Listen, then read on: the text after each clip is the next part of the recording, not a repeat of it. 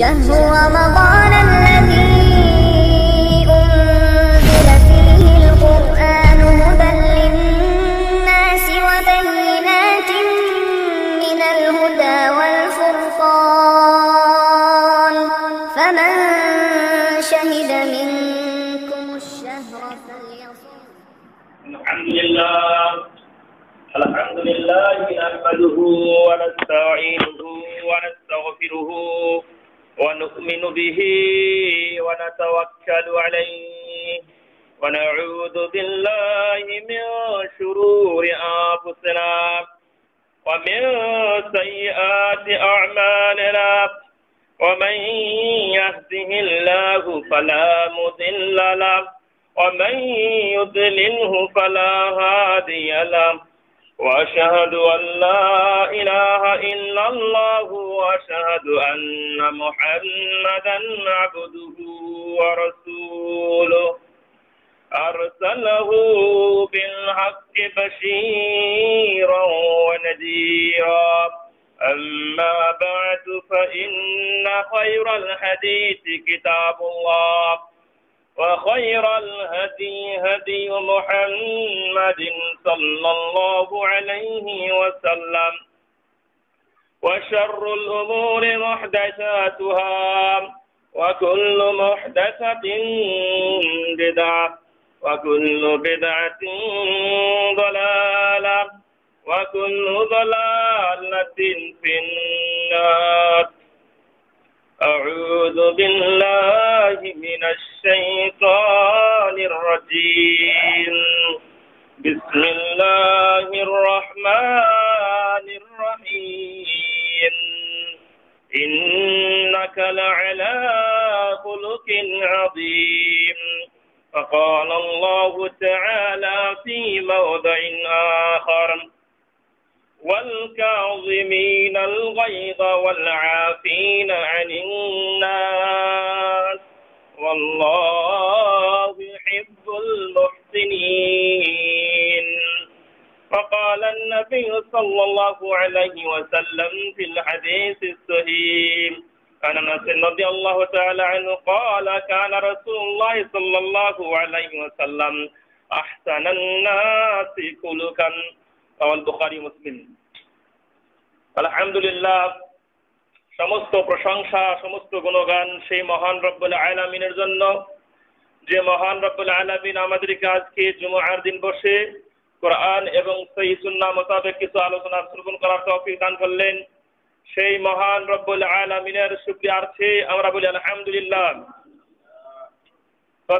দরুদ এবং সালাম পাঠ করি আমাদের প্রিয় হাবিব সৈয়দুল আম্বিয়া, সৈয়দুল হারামাইন মোহাম্মদ সাল্লাল্লাহু আলাইহি ওয়াসাল্লামের প্রতি বলি সাল্লাল্লাহু আলাইহি ওয়াসাল্লাম।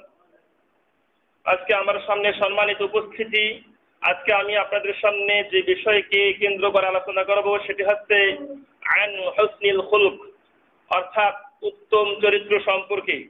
উত্তম চরিত্রের গুরুত্ব সম্পর্কে, এর ফজিলত সম্পর্কে, এর মহত্ব সম্পর্কে আমি কোরআন এবং সেই সুন্নাহ মোতাবেক আলোকপাত করব আমার। তৌফিক ইল্লা বিল্লাহ। আলাইহি ইলাইহি উনিব।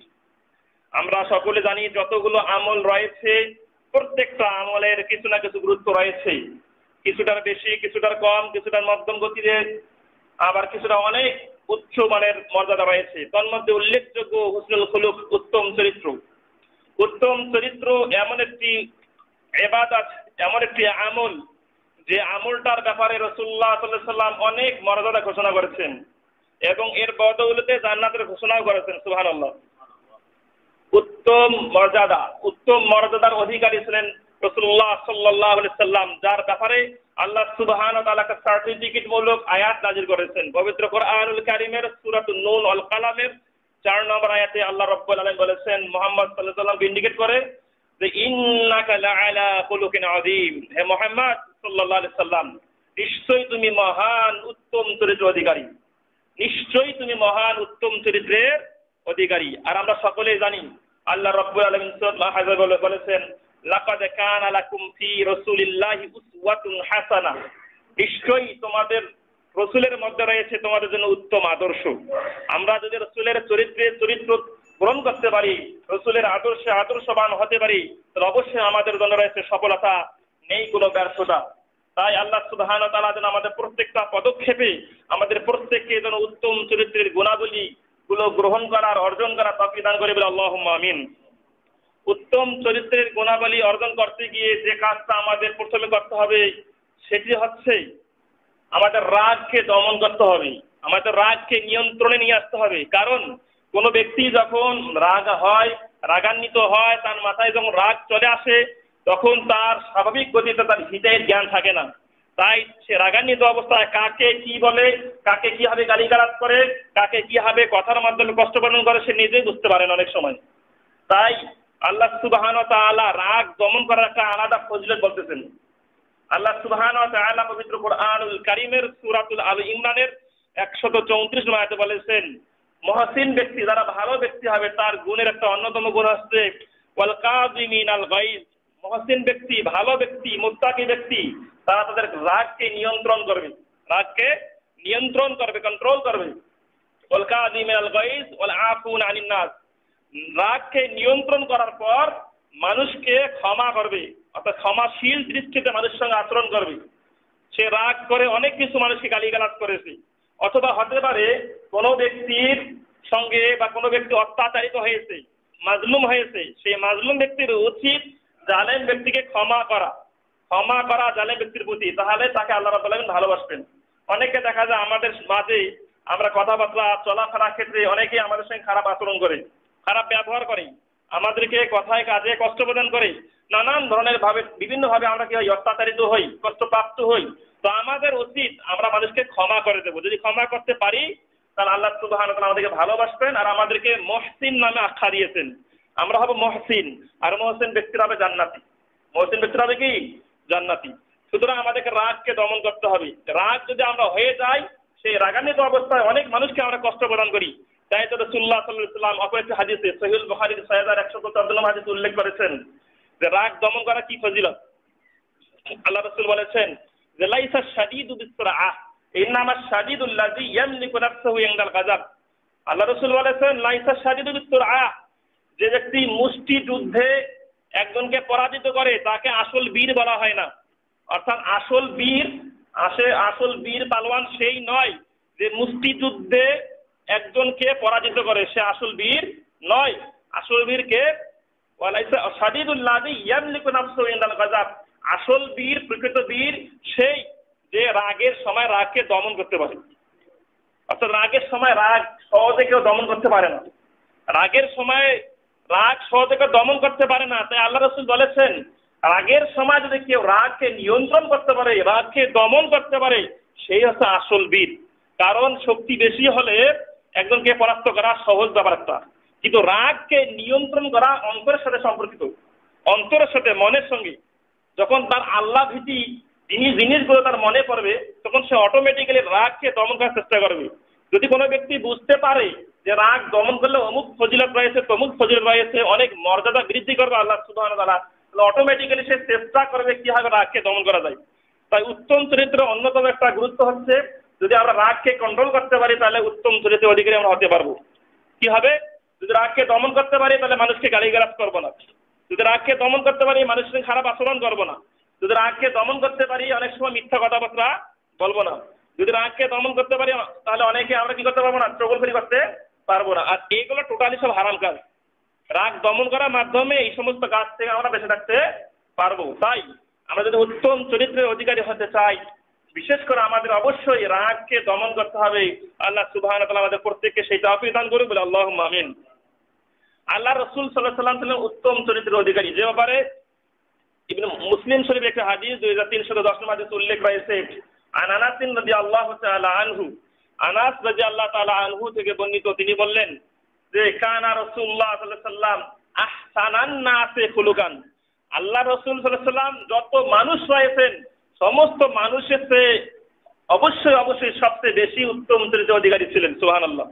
না, আল্লাহ রসুলের চেয়ে বেশি কেউ উত্তম চরিত্র অধিকারী কেউ ছিলেন না। তাই তো দেখা যায় যে জাহিলিয়াত যোগে আল্লাহ রসুলকে সৃষ্টি করা হয়েছে, যে রাসুল জাহিলিয়াত যোগে আল্লাহ রসুল জন্মগ্রহণ করেছেন, সেই জাহিলিয়াত যুগের লোকেরা অনেক খারাপ ছিল, অনেক বর্বর ছিল, অনেক নির্মম ব্যক্তি ছিল, অনেক অত্যাচারিত ব্যক্তি ছিল।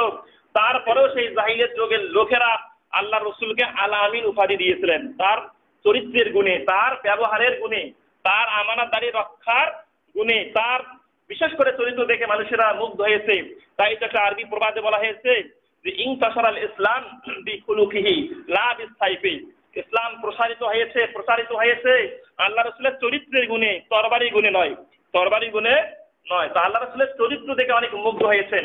আল্লাহ রসুলের আচরণ দেখে, আল্লাহ রসুলের স্বভাব দেখে অনেকে মুগ্ধ হয়েছিলেন। তাই তো তারা ইসলামের পথে প্রবেশ করেছেন। সোহান আল্লাহ অনেক বেদিন, অনেক খ্রিস্টান ব্যক্তিরা, অনেক ইহুদি ব্যক্তিরা, অনেক নাস্তিক ব্যক্তিরা যখন তারা ইসলাম গ্রহণ করে, ইসলাম গ্রহণ করে, তখন তারা আসলে ইসলামের যিনি সারে, শরীয়ত পূর্ণতা যার মাধ্যমে নির্ধা- নির্ধা- নির্ধারিত হয়েছেন, অর্থাৎ আল্লাহর পক্ষে, আল্লাহর মাধ্যমে যিনি নির্ধারিত হয়েছেন রসুল্লাহ সাল্লাহ সাল্লাম সেই আল্লাহ রসুল সাল্লাহ সাল্লামের চরিত্র যখন তারা গবেষণা করে, তখন তার চরিত্র গবেষণা করে, তারা কে মুসলিম হয়েছে? সুবাহ আল্লাহ তাহলে অবশ্যই আমাদেরকে চরিত্র ঠিক রাখতে হবে।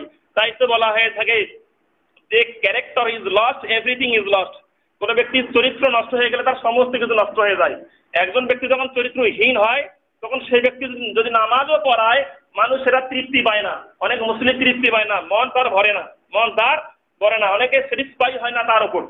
তাই আমাদের অবশ্যই চরিত্র ঠিক করতে হবে। আল্লাহ তাআলা আমাদের উত্তম চরিত্রের অধিকারী হওয়ার তবে দান করুন আল্লাহ আমিন। উত্তম চরিত্রের শীর্ষে অবস্থান করেছিলেন মোহাম্মদ আলাইহি সাল্লাম আল্লাহ রাব্বুল আলামিন আমাদেরকে আল্লাহ রাসূল আলাইহি সাল্লামের চরিত্রে চরিত্রবান হওয়ার তৌফিক দান করুন আল্লাহ আমিন। আল্লাহ রাসূলের চরিত্র আরও কেমন ছিলেন? তার দৈহিক গঠন কেমন ছিলেন? তার সুবাস, সুগন্ধ কেমন ছিলেন? এ সম্পর্কে একটা হাদিসে বর্ণিত রয়েছে সেই বুখারী এবং মুসলিমে উল্লেখ রয়েছে। আল্লাহ রসুল সাল্লাহ সাল্লাম সম্পর্কে আনাস রাজি আল্লাহ তালা আনহু বললেন, যে আনাস রাজি আল্লাহ আনহু আল্লাহ রসুলের দশ বছর খেদমত করেছিলেন, অর্থাৎ দশ বছর খাদিম হিসেবে ছিলেন।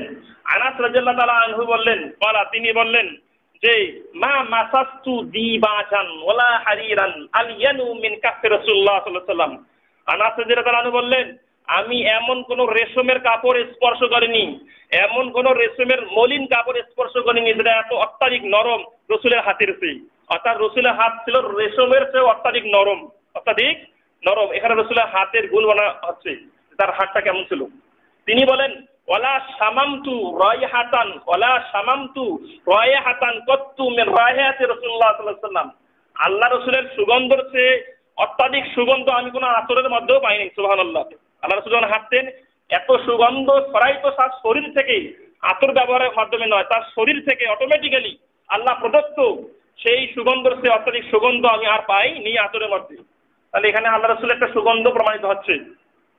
আনাস বললেন, ওয়ালাকাদ সিনিন।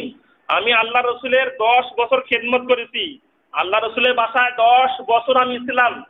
মা লা লা ইয়াকুলু। আল্লাহ রাসূল ওয়াসাল্লাম ফামা ক্বালা লি কত্তু উফিন আল্লাহ রাসূল আমার কোনো কাজে, আমার কোনো কাজে কষ্ট পেয়ে আল্লাহ রাসূল কখনো আমাকে উফ শব্দটিও বলেননি, সুবহানাল্লাহ।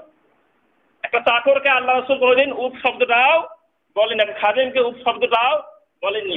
এমনকি অমা কালালি অমা কালালি এবং আল্লাহ রাসূল ওয়াসাল্লাম আমাকে ওই ক্ষেত্রেও বলেননি, মা ফালতু যে কাজটা আমি করেছি, সেই কাজের পক্ষে বা বিপক্ষে আল্লাহ আমাকে বলেননি যে, লিমা ফালতাউ হে আনাস, কেন তুমি এই কাজটা করলে? এটা তোমার ঠিক হয়নি। এই কথাটাও বলেননি। অমা কাল আলী সাইন মা ফালতু এবং যে কাজটি আল্লাহ রসুলের আদেশ ছিল, আমি করিনি, সে কাজের ক্ষেত্রেও আল্লাহ রসুল বলেননি যে আলা ফালদা কাজা, কেন তুমি আমি ওই কাজটা করলে না? কেন তুমি অমুক কাজটা করলে না? এই অত্যাধিক চরিত্র অধিকারী হলেই তো এটা সম্ভব। তা না হলে আমরা অনেক সময় চাকর বাকরকে, আমাদের খাদেমকে শুধু বলি না যে কেন করিস নাই? পিটাই, মারধর করি, মাসের বেতন কেটে ফেলি, অনেক কিছু করি, নানানভাবে টর্চার্ট করি, যেটা ইসলাম সমর্থ করে না তাই আমাদের উচিত হবে চাকর যারা কর্মচারী রয়েছেন, তাদের সঙ্গে মানুষের মতো আচরণ করা যে সেও একজন মানুষ, সেও একজন মানুষ, সেও আল্লাহর বান্দা, সেও আল্লাহর সৃষ্টি। তাই আল্লাহ সৃষ্টির সঙ্গে উত্তম আচরণ করতে হবে। যদি করতে পারি, তখনই আমরা চরিত্রবান হতে পারব। তা নাহলে চরিত্রবান হতে পারব না। হাজারবার হজ করেও চরিত্রবান হওয়া যায় না।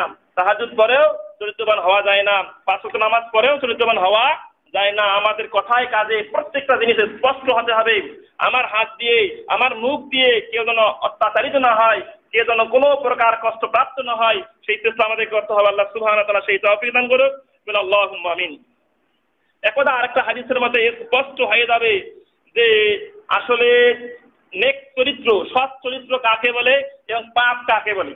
আমাদের মাঝে অনেক সময় খটকা লাগে যায় যে কোনটা পাপ আর কোনটা ভালো কাজ। এটা খটকা লেগে যায়। এটাই স্পষ্ট করতে সেই মুসলিমের একটা হাদিস, দুই হাজার পাঁচশো তেপ্পান্ন হাদিসে আল্লাহ রসুল সাল্লাম এই স্পষ্ট করতেছেন। আই নওয়াজ বিন সালআন রাজি আল্লাহ তাআলা আনহু ক্বালা। নওয়াজ বিন সালআন রাজি আল্লাহ তাআলা আনহু, তিনি বললেন যে, সালতু রাসূলুল্লাহ সাল্লাল্লাহু আলাইহি সাল্লাম আনিল শাররি, আনিল ইসমে। আমি আল্লাহ রসুল সাল্লাহ সাল্লামকে আনিল বিররি ওয়াল ইসমে। কোনটা ভালো কাজ, কোনটা খারাপ কাজ? কোনটা করলে উপকার হবে, কোনটা করলে সাওয়া পাওয়া যাবে, আবার কোন কাজটা করলে গুণাগার হব, সে সম্পর্কে আমি জিজ্ঞেস করলাম। অর্থাৎ আল বের ওয়াল এসেম পাপ কোনটা, সৎ কাজ কোনটা জিজ্ঞেস করলাম। আল্লাহ রসুল সাল্লাহ সাল্লাম বললেন, আল বের সৎ কাজ হচ্ছে, উত্তম কাজ হচ্ছে, যে কাজ করার মাধ্যমে যে উত্তম ভালো হবে, সেটা হচ্ছে হুসনুন হলুকুন সুহার আল্লাহ উত্তম চরিত্র। উত্তম চরিত্র হচ্ছে ভালো কাজ, ভালো গুণ।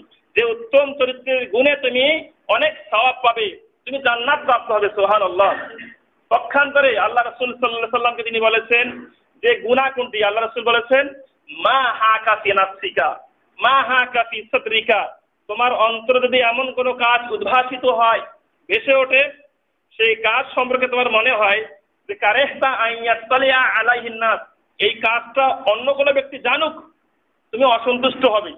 তোমার কাজটা, তোমার কর্মটা অন্য কোনো ব্যক্তি জানুক জানাতে তুমি খারাপ লাগবে তোমার। মনে রাখবে সেটা হচ্ছে গোনার কাজ। মনে করবে সেটা একটা গোনার কাজ। তুমি রাত্রিতে একাকি একাকি ঘর বন্ধ করে, দরজা বন্ধ করে খারাপ কাজ করেছ, আর এই দৃশ্যটা, এই খবরটা যদি অন্য কোনো ব্যক্তি জানতে পারে, এটা তোমাকে খারাপ লাগবে না? মনে রাখবে সেটা হচ্ছে গোনার কাজ। যে কাজটা অন্য কেউ জানাতে, অন্য কেউ জানলে তোমার খারাপ লাগবে, সেটাই হচ্ছে গুনার কাজ। আমার আমাদের মাঝে অনেক সময় এমন কিছু জিনিস উদ্ভাসিত হয়, মনের মধ্যে কথায় কাজে অনেক কিছু প্রকাশিত হয়, যেটা মানুষেরা জানুক, এটা আমাদের খারাপ লাগে, সেটাই হচ্ছে গুনার কাজ সুতরাং এ ধরনের যত কাজ আমাদের অন্তরে সংশয় সৃষ্টি হবে, সে সমস্ত কাজকে বর্জন করতে হবে, তাহলে আমরা গোনা থেকে বেঁচে থাকতে পারব। আল্লাহ সুবাহান তালা আমাদের প্রত্যেককেই সেই আবেদন করি বলে আল্লাহ আমিন। এরই মাধ্যমে আমাদের প্রত্যেককে চরিত্রবান হওয়ার তাফিদান করুক, বলে আল্লাহ আমিন। আল্লাহ রসুল সাল্লাহ সাল্লামের আরেকটা গুণাবলী মনে করতেছেন, যে আল্লাহ রসুল কেমন ছিলেন? আচার ব্যবহারে চরিত্রের দিক থেকে তিনি কেমন ছিলেন এই ব্যাপারে আল্লাহ রসুল সাল্লাহ সাল্লামের একটি হাদিস সহি মুসলিম শরীফের একটি হাদিস তেইশশো একুশ নম্বর হাদিস উল্লেখ রয়েছে عن عبد الله بن عن عبد الله بن عمرو بن العاص رضي الله تعالى عنه قال عبد الله بن عمرو بن العاص رضي الله تعالى عنه তিনি বললেন যে লাম ইয়াকুন রাসূলুল্লাহ সাল্লাল্লাহু আলাইহি সাল্লাম ফাহিশান ওয়ালা মুতাফাহিশান আল্লাহ রাসূল সাল্লাল্লাহু আলাইহি সাল্লাম তিনি অশালীন ভাষার অধিকারী ছিলেন না সুবহানাল্লাহ আল্লাহ রসুলের মুখ থেকে কোনোদিন খারাপ কথাবার্তা বের হতো না। ইচ্ছাকৃত না, অনিচ্ছাকৃত বের করতেন না। আল্লাহ রসুলের পক্ষ থেকে কোনো খারাপ কাজ বের হয় নাই। এখানে বলা হয়েছে আরেকটি কথা, সেটি হচ্ছে আল্লাহ রসুল সাল্লাম তিনি প্রতিনিয়তই একটা কথা বলছেন, কানা ইয়াকুলু ইন্না মিন আহসানিকুম, ইন্না মিন খিয়ারিকুম আহসানুকুম খুলুকান। আল্লাহ রসুল সাল্লাহ সাল্লাম বলেছেন, তোমাদের মধ্যে উত্তম ব্যক্তি সেই, তোমাদের ব্যক্তি ভালো ব্যক্তি সেই যে ব্যক্তির চরিত্র অত্যাধিক ভালো, যে ব্যক্তি অত্যাধিক সুন্দর চরিত্রের অধিকারী। আজকাল দেখেন, আমরা যখন সমাজে চলি, আমরা যখন গ্রামে চলি, যখন বাজারে চলি, যখন মসজিদে আসি এমন ভাবে কথাবার্তা বলি এমন ভাবে কাউকে আদেশ করি এমন ভাবে কাউকে নিষেধ করি, মনে হয় যাকে আদেশ করতেছি, যাকে নিষেধ করতেছি, আমার কথার মাধ্যমে, আমার কাজের মাধ্যমে সে কষ্ট প্রাপ্ত হচ্ছে। এরকম যদি হয়ে থাকে, তাহলে কিন্তু আমরা চরিত্রবান হতে পারব না। কারণ এটা চরিত্রের খেলাপি কাজ। আপনার সঙ্গে কেউ খারাপ আচরণ করেছে? আপনাকে কেউ কষ্ট দিয়েছে? আপনি তাকে ক্ষমা করে দেন, তাকে সুন্দরভাবে বোঝান। তাকে সুন্দরভাবে উপদেশ প্রদান করেন, সুন্দরভাবে তাকে বোঝান। তখনই আপনি চরিত্রবান হতে পারবেন নচেত হতে পারবেন না। সুতরাং আমাদেরকে যে কেউই কষ্ট প্রদান করুক না কেন, আমরা চেষ্টা করব তাকে ক্ষমা করে দেওয়ার এবং আমরা তাকে ভালোভাবে, সুন্দরভাবে বোঝার চেষ্টা করব। আল্লাহ সুবহান আমাদের প্রত্যেককে সেই তৌফিক দান করুক, বলে আল্লাহ আমিন। এখন কয়েকটা হাদিস বলব যেটা প্রমাণ করবে যে এই যে উত্তম চরিত্রের ফজিলাতটা কি? এর স্পেশাল একটা গুরুত্ব কি রয়েছে? আল্লাহ রসুল সাল্লাহ সাল্লামের একজন প্রখ্যাত সাহাবি, আবু দারদার রাজি আল্লাহ আনহু, আবু দারদার রাজি আল্লাহ আনহু, তিনি বলেছেন যে, মা মিন শাইইন আসকালু ফি মিজানিল মুমিনে ইয়াউমাল কিয়ামাতে মিন হুসনি খুলুকিন। আল্লাহ রসুল সাল্লাল্লাহু আলাইহি সাল্লাম বলেছেন, কিয়ামতের দিন মুমিনদের মিজানে দাড়ি পাল্লার মধ্যে যে আমলটার ওজন সবচেয়ে বেশি হবে, সেটি হচ্ছে উত্তম চরিত্র সোহান আল্লাহ মুমিনদের মিজানে, অর্থাৎ কেয়ামতের দিন যে আমাদের আমল নামা মাফ করা হবে, তো মিজানে দাড়ি পাল্লায় কেয়ামতের দিন যে আর ওজন, যে আমলটার ওজন সবচেয়ে বেশি হবে, সবচেয়ে ওজনযুক্ত হবে, সেটা হচ্ছে হুসনুল হলুক উত্তম চরিত্র। তাহলে বোঝা যাচ্ছে উত্তম চরিত্র গুণ বা গুরুত্ব কেমন, এখান থেকে প্রতীয়মান হচ্ছে। রসুল্লাহ সাল্লাম বলেছেন যে, ইন্নাল্লাহা ইউহিব্বুল ফাহিশাল বাজিয়া। আল্লাহ রাব্বুল আলামিন কর্কশ মেজাজি খাঁটি খারাপ ব্যক্তি, যারা মানুষকে কষ্ট প্রদান করে, অশালীন কথাবার্তা বলে, বিভিন্ন খারাপ কথা বলে, গালিগালাজ করে, এই সমস্ত ব্যক্তিকে কঠিন ঘৃণা করেন আল্লাহ রাব্বুল আলামিন। সুতরাং আমাদের জিহুবাকে সংযত রাখতে হবে। আমাদের জিহুবাকে কন্ট্রোল করতে হবে। যাতে করে কোনো প্রকার গালিগালাজ, খারাপ কথাবার্তা অশালীন কথাবার্তা যেন আমাদের মুখ থেকে বের না হয়, আমাদের মাধ্যমে যেন কেউ কষ্টপ্রাপ্ত না হয়, কোনো মানুষ সে যত নিম্ন শ্রেণির ব্যক্তি হোক না কেন, কেউ যেন আমাদের কথার মাধ্যমে কোনো কষ্টপ্রাপ্ত না হয়। আল্লাহ ওয়া আমাদের প্রত্যেককে সেই তৌফিক দান করুক বলে আল্লাহুম্মা আমিন। হাদিসটি সৈয়দ তিরমিজি 2002 নম্বর হাদিসে উল্লেখ রয়েছে। আরেকটি কথা আল্লাহ রাসূল আলাইহি সাল্লাম বললেন যে, উত্তম চরিত্রের গুণ কি? আন আবি হুরায়রা রাদিয়াল্লাহু তাআলা আনহু আবু হুরায়রা রাদিয়াল্লাহু তাআলা আনহু থেকে বর্ণিত কলা তিনি বললেন সুইলা রাসূলুল্লাহ সাল্লাল্লাহু আলাইহি সাল্লাম আল্লাহ রসুলকে প্রশ্ন করা হলো, উত্তম চরিত্রের ফজিলত সংক্রান্ত, যে আল্লাহ রসুল সাল্লাহ সাল্লামকে প্রশ্ন করা হলো যে, মা ইউকসিরু, মা ইউদ ছিল আন আন কাছে, মা ইউদ ছিল নারা আল জান্নাতা কোন জিনিসটা মানুষকে বেশি বেশি জান্নাতে নিয়ে যাবে? কোন আমলটা মানুষকে বেশি বেশি জান্নাতে নিয়ে যাবে?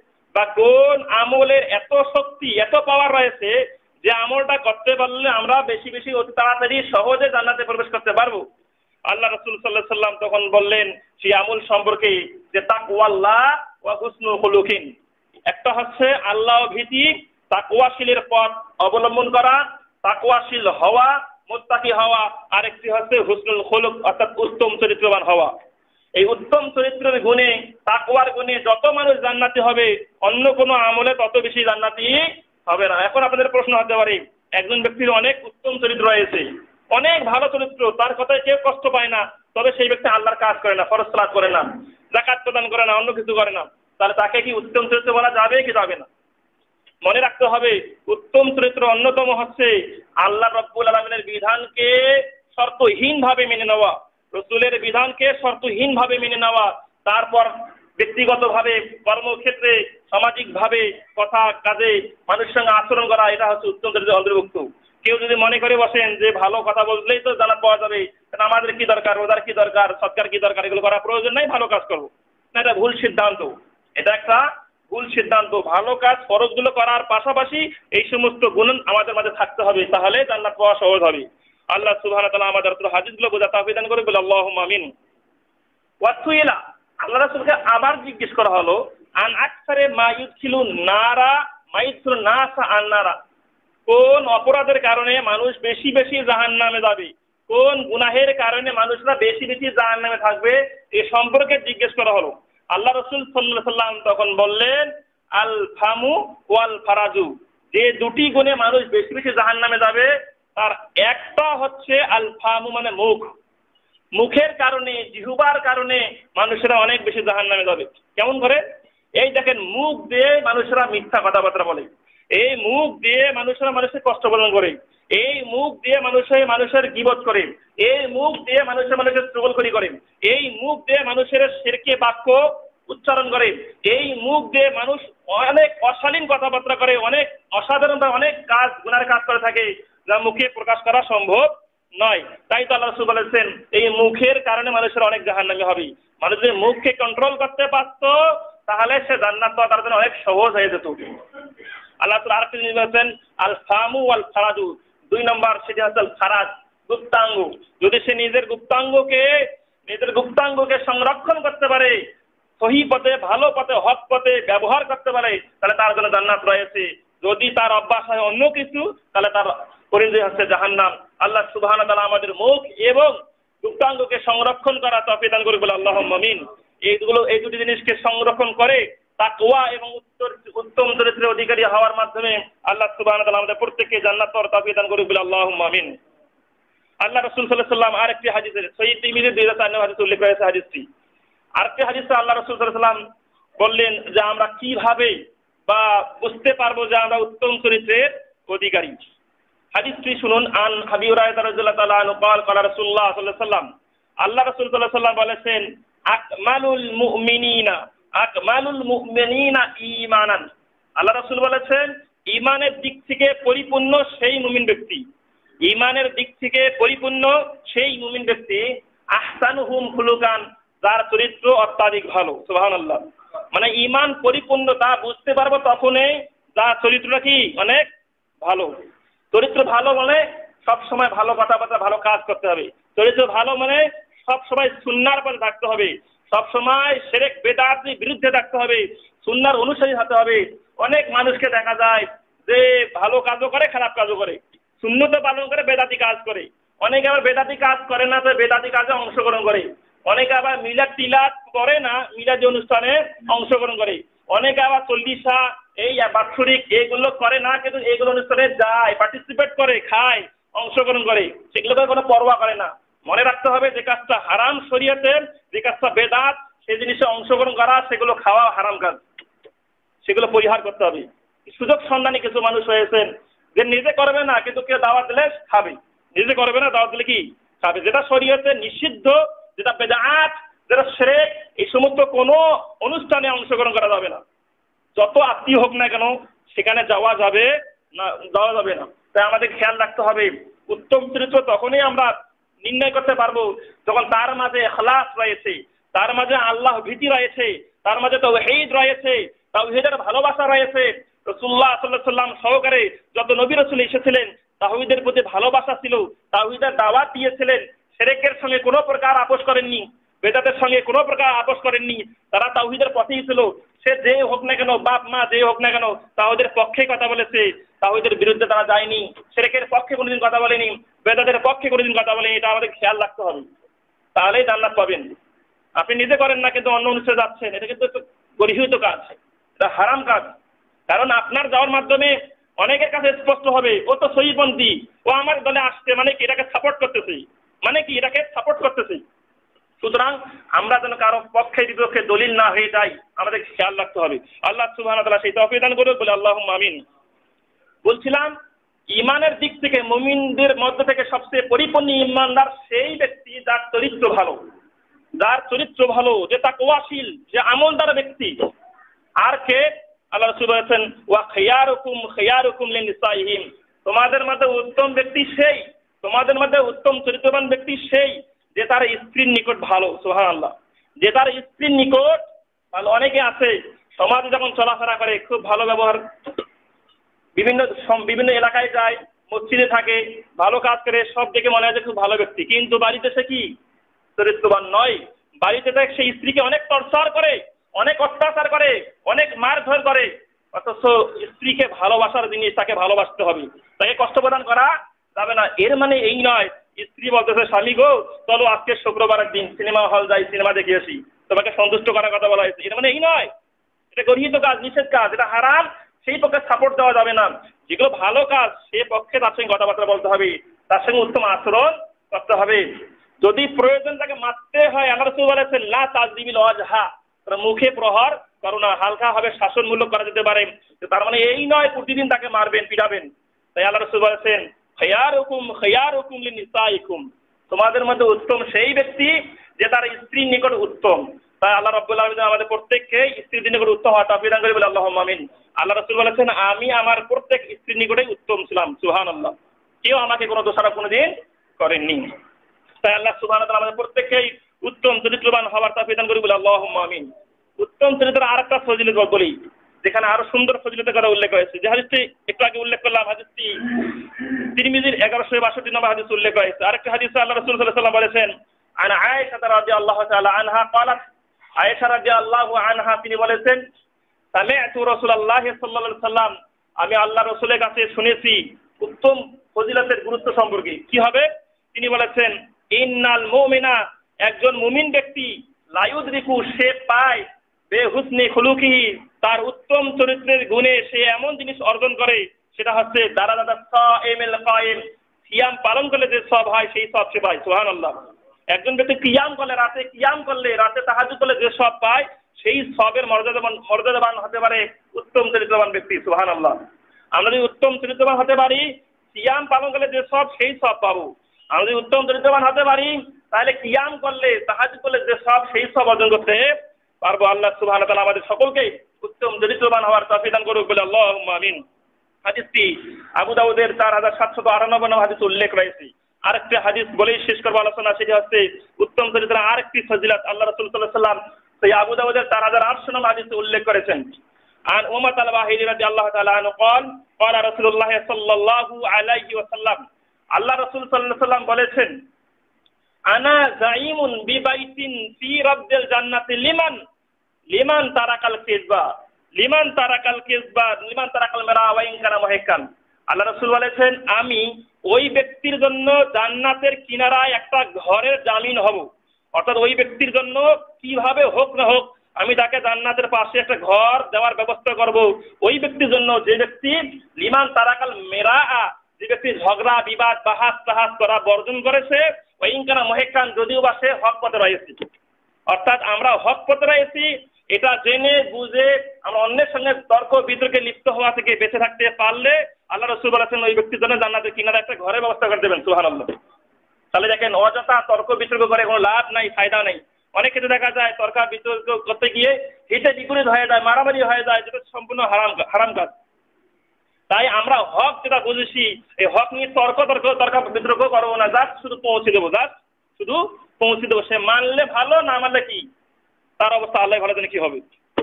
আল্লাহ রসুল আরও বলেছেন ওয়ানা জাইমুন বিবাইতিন ফি ওয়াসতিল জান্নাত লিমান?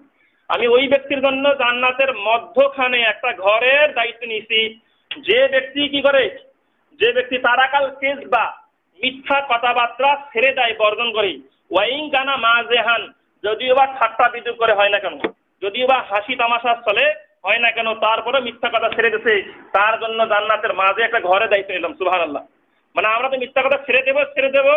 যদি ঠাট্টা বিদ্রুপ সহকারেও বা হাসি তামাশা করেও যদি মিথ্যা কথা না বলি, তাহলে আমরা সেই জান্নাতের মাঝে থাকতে পারব। আল্লাহ রাবুল আমিন সেটা পাওয়ার তাফিক দান করুক বলে আল্লাহ আমিন।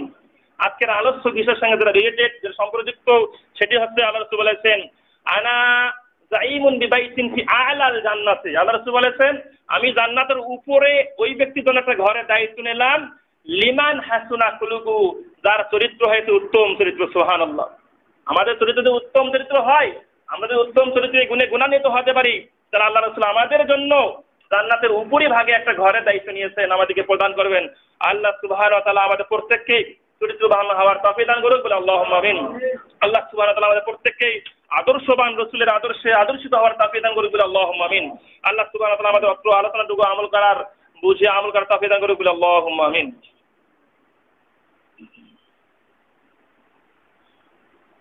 إن الحمد لله والصلاة والسلام على من لا نبي بعده. أعوذ بالله من الشيطان الرجيم. بسم الله الرحمن الرحيم. إن الله وملائكته يصلون على النبي. يا أيها الذين آمنوا صلوا عليه وسلموا تسليما. اللهم صل على محمد وعلى آل محمد كما صليت على إبراهيم وعلى آل إبراهيم إنك حميد مجيد. اللهم بارك على محمد وعلى آل محمد كما باركت على إبراهيم وعلى آل إبراهيم إنك حميد مجيد. আজকের এই উত্তম চরিত্র আলোচনা থেকে আমরা যা শুনলাম, বুঝলাম, আল্লাহ সুবহান আমাদেরকে কোরআন, হাদিস, মাফিক জীবন গঠন করা তাফিদান করুক, বলে আল্লাহ আমিন। আল্লাহ সুবহান আমাদের প্রত্যেককে আল্লাহ রসুলের আদর্শে আদর্শবান এবং আল্লাহ রসুলের চরিত্রে চরিত্রবান হওয়ার তাফিদান করুক, বলে আল্লাহ আমিন। আল্লাহ রব্বুল আলমিন আমাদের প্রত্যেককে সর্বক্ষেত্রে ভালো কাজের দিকে, কল্যাণমূলক কাজের দিকে এগিয়ে আসা তাফিদান করুক, বলে আল্লাহ আমিন। আল্লাহ সুবহান আমাদের সকলকে প্রত্যেক ব্যক্তিকে এই জুমুয়ার গুরুত্ব দিয়ে জুমুয়ার দিনে মসজিদে তাড়াতাড়ি আসা তাফিদান করি বলে আল্লাহ আমিন। যারা আসবে না তো আসবে না, আল্লাহ রব্বুল আমিন তাদের অন্তরে মোহর মেরে দিয়েছেন। কত করে হাদিস বললেও গিলে ছেলাইলেও তাদেরকে কোনো কাজে আসবে না। সুতরাং আল্লাহ সুবহান তাআলা তাদের অন্তরে মোহর মেরে দিয়েছেন, মোহর সাপ মেরে দিয়েছেন। কোরআন হাদিসের কথা বললেও তারা বুঝবে না। তাই আল্লাহ রাব্বুল আলামিনের কাছে দোয়া করি, আল্লাহ সুবহানাহু ওয়া তাআলা সেই সমস্ত ভাইদেরকে হেদায়েত দান করে আল্লাহ আমিন। আল্লাহ সুবহানাহু ওয়া তাআলা সেই সমস্ত ভাইদেরকে জুমার খুতবার কোরআন হাদিসের গুরুত্ব দেওয়ার তাওফিক করে আল্লাহুম্মা আমিন। আল্লাহ তাআলা আমাদের প্রত্যেককেই সঠিক পথে থাকার দান করুন আল্লাহুম্মা আমিন। এই দুনিয়ায় শেষ নয়, আর একটা জীবন আছে, আর একটা জগৎ আছে, আখেরাত। পরকাল, যে কালের, যে কাল কঠিন, অত্যাধিক ভয়াবহ কাল হবে। যে কালে আপনার বাবা মা, আপনার ধন সম্পত্তি সারা বিশ্বর মানুষকে যদি আল্লাহকে দেওয়া হয় যে, আল্লাহ সবাইকে তোমাকে দিলাম, আমাকে মাফ করেন। আল্লাহ মাফ করবেন। না, সুতরাং আমাদেরকে আমল করতে হবে, আল্লাহর পথে থাকতে হবে, সঠিক পথে থাকতে হবে, সঠিক পথে অবিচল থাকতে হবে। অনেক সময় মনে হবে যে বাহ্যিক যে সমস্ত পথ রয়েছে, সেটা আমাদেরকে ভালো মনে হতে হবে, কিন্তু সেটা আসলে ভালো পথ নয়। আমাদের কোরআন, সুন্না বুঝে তদানুযায়ী সঠিক পথে আমাদেরকে চলতে হবে। আল্লাহ তাআলা সেই দান করুক বলে আল্লাহ আমিন। আল্লাহ রাব্বুল আলামিন আমাদের মৃত্যুর শেষ মুহূর্ত পর্যন্ত সঠিক পথে থাকা তৌফিক দান করে বলে আল্লাহ আমিন। আল্লাহ তাআলা আমাদের উত্তম চরিত্রের গুণটা অর্জন করা তৌফিক দান করে বলে আল্লাহ আমিন। যে সমস্ত ভাই বোনেরা বা যারাই মৃত্যুবরণ করেছেন, মারা গিয়েছেন, আল্লাহ রাব্বুল আলামিন তাদের সকলের কবর আযাব মাফ করে দেবে আল্লাহ আমিন। আল্লাহ রাব্বুল আলামিন তাদেরকে জান্নাত দান করে বলে আল্লাহ আমিন। আল্লাহ ওয়া তাআলা আমাদের প্রত্যেক, যারা আজকে জীবিত রয়েছি প্রত্যেককে আপনার পথে থেকে যেন আমরা মৃত্যুবরণ করতে পারি, আল্লাহ তাআলা সেই তাওফিক দান করে বলে আল্লাহ আমিন। আমাদের সমাজে যারা বিভিন্ন ব্যবসা বাণিজ্য কাজকর্ম, চাকরিতে লিপ্ত রয়েছি, আল্লাহ ওয়া তাদের সকলে চাকরি, ব্যবসা, বাণিজ্য, কাজকর্মে বরকত, কল্যাণ দান করে বলে আল্লাহ আমিন। আল্লাহ সুবহান আমাদের প্রত্যেককেই ঈমান নিয়ে, আমল নিয়ে কবর যা তৌফিক দান করে বলে আল্লাহ আমিন। সুবহানাক আল্লাহুম্মা বিহামদিকা আশহাদু আল্লা ইলাহা ইল্লা আনতা আস্তাগফিরুকা ওয়া আতুবু ইলাইক। কুমুল সালাত।